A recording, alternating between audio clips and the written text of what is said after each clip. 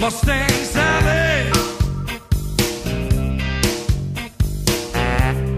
Guess you better slow that Mustang